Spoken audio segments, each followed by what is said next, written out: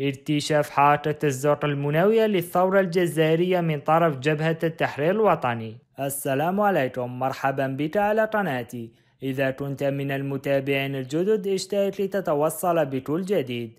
إن شاء الله يفيدك هذا الموضوع في آخر الفيديو سأذكر مصدر أو مرجع المعلومات. المطلب الثاني اكتشاف المتآمرين الزرق والقضاء عليهم. ألف اكتشاف حائط الزرق. أولا حسب عبد المجيد عزي فإن من كشف عن المؤامرة هي حادثة اعتقال الملازم حسين صالحي بتواطؤ أحمد هاجري حيث كان الملازم حسين صالحي في جولة تفقدية للتحضير لاجتماع مجلس المنطقة الرابعة. فالتحق بملجأ في مزرعة بالقرب من برج منايل. كان به مندوبين من الولاية الثالثة ومن بينهم أحمد صابري. حيث جاءت مجموعة بملابس جيش التحرير متظاهرين بأنهم من الولاية الرابعة وأن لديهم رسالة للملازم صالح. وبعدما استدرجوا إلى الخارج أمسكوا به واقتحموا الملجأ ليقبضوا على رفاقه. وهذه الحملة تمت عبر شبكة رسائل كريم بالقاسم وياسف سعدي بين الولاية الثالثة والمنطقة الحرة. كانت هذه الرسائل ترد عن طريق أحسن قندريش الذي أصبح عميلا. كما تمكن العدو من اعتقال ياسف سعدي ونسل المخبأ الذي كان فيه علي لابوانت ورفاقه.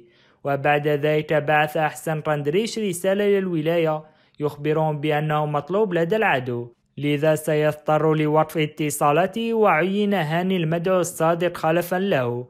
فواصل هذا الأخير تبادل الرسائل تحت إشراف ليجي. ثانيا أما يحيى بوعزيز فيرجعها إلى روزا وهي تاجرة زهور عمرها 18 سنة. كانت تسكن في بيلتور وتصنع الأعلام للجبهة وبعد اكتشاف أمرها فرت إلى الجبل ببرج منايل لكنها أسرت في إحدى المعاد وأجبرت على ذكر أسماء المسؤولين في برج منايل. ولما أطلق سراحها عادت إلى الجبل وارتشف أمرها بعد مشاهدتها مع الضابط ليجي. وتعرضت للاستنطاق حيث عذبها محيوز إلى أن اعترت بأنها عميلة وذكرت بعض أسماء الجواسيس ثم قطع رأسها. ولما قدمت الدور المكلف من طرف ليجي للبحث عنها تم تعذيبه فاعترف بخطط ليجي ثم أعدم بالرصاص. وفي جوان 1958 ميلادي أعدم كمال وعلال شنقا بالحبل وتم تعذيب حوالي 3000 شخص والتخلص منهم.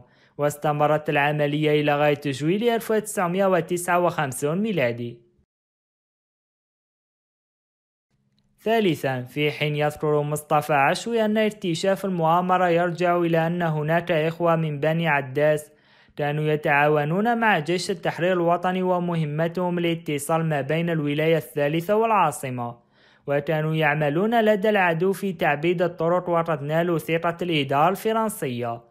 وفي أحد أيام 1958 ميلادي أعطيت لهم رسالة من طرف العدو لإيصالها للولاية الثالثة وكان استعميروش بها فرآها ووجدها موجهة لبعض العملاء فقام باستدعائهم وترقيتهم إلى رتب أعلى لينال ثقتهم واصطحبهم إلى غابة أطفادو وبعد وصوله إلى مقر الولاية أمر بتوثيقهم وعقد تجمعا في أغلامهم أباكاني البيت السوداء. وقام باستنطاقهم فاعترف بعضهم وكشفوا عن أسماء بعض الخونة.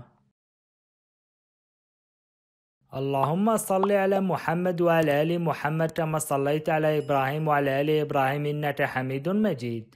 اللهم بارك على محمد وعلى آل محمد كما باركت على إبراهيم وعلى آل إبراهيم إنك حميد مجيد.